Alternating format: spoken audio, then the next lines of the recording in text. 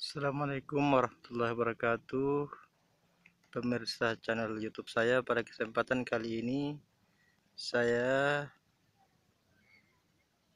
Memberikan informasi bahwa di desa Salulian Tepatnya kecamatan Kaluku di sini ada hutan mangrove di sini ada tempat wisata namanya wisata mangrove bagi yang mau berkunjung ke sini silahkan datang ke sini.